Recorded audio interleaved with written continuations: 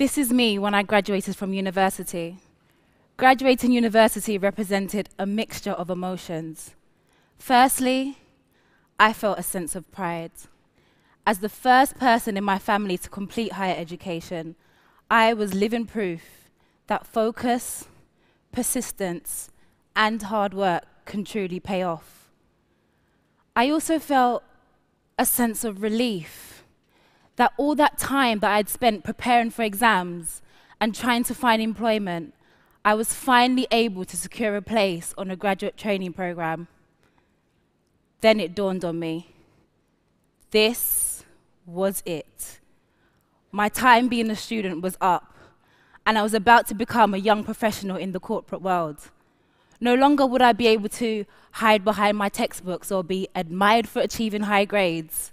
In the world of work, that would no longer matter anymore. I would be judged by a completely different set of standards.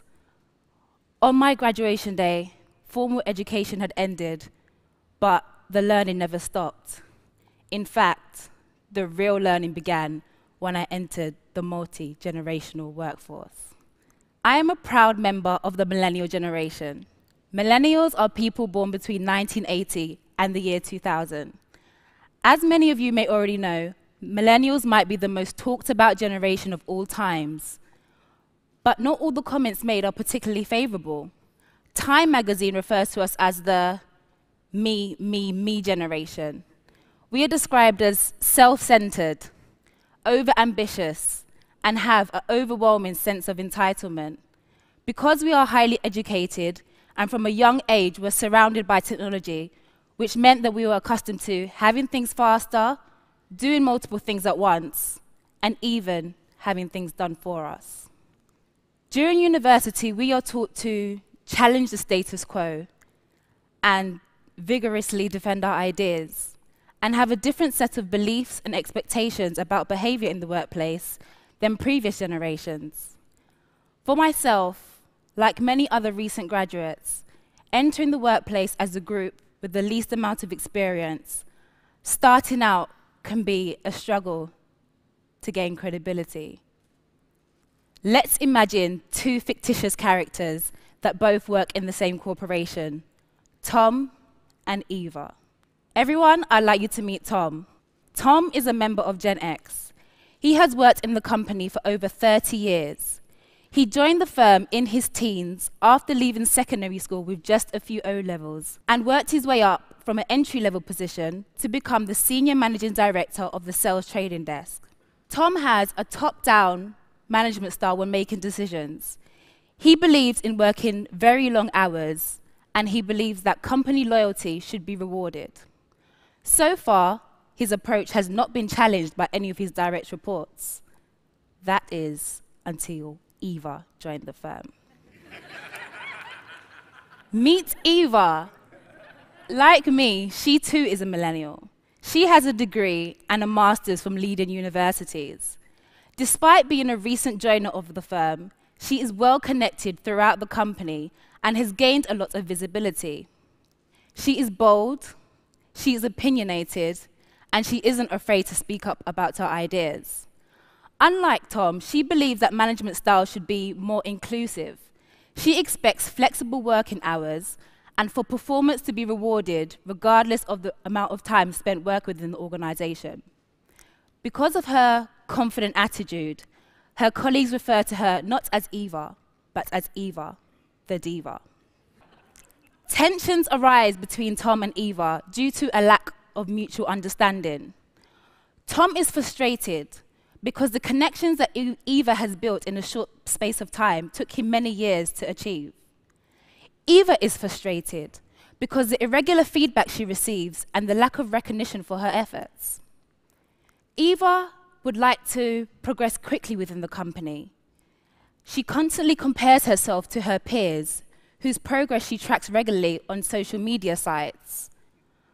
Tom believes that Eva should be more focused on developing her work ethic and be less concerned about the speed of her career advancement.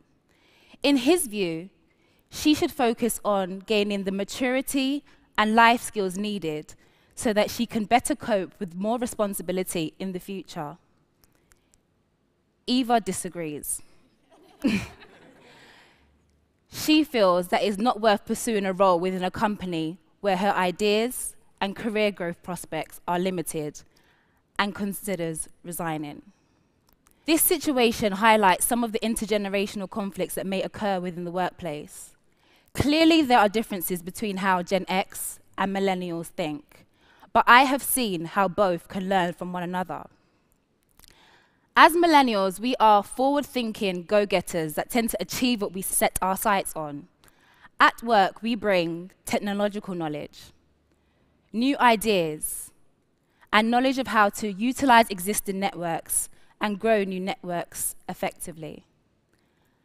Even though we are passionate, motivated, and keen to learn, I recognize the wisdom and experience that older generations bring.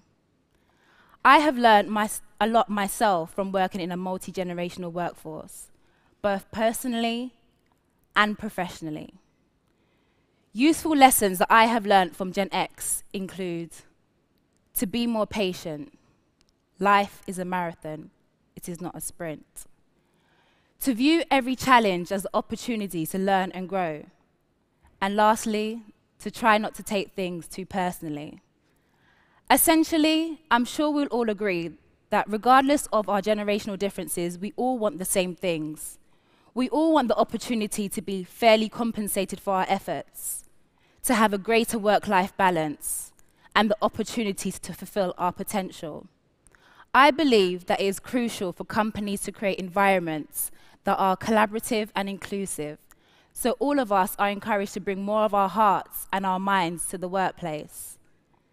Companies can improve employee engagement through collaborative projects so that people with different expertise are encouraged to contribute by cross training members of staff so that everyone is encouraged to learn from one another.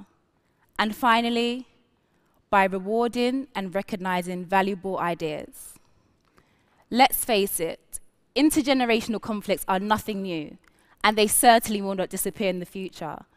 I am sure that by the time I become a manager, I will most likely have different views about behavior in the workplace than the upcoming generation, Gen Z. Even now, I can hear myself saying, the kids these days are nothing like what I used to be when I was their age. but the fact is, they shouldn't have to be. What matters most is the ability to understand different perspectives and leverage key talents. Because ultimately, these are the things that will determine the ability of companies to create environments where all workers, both young and old, can thrive. Thank you all for listening.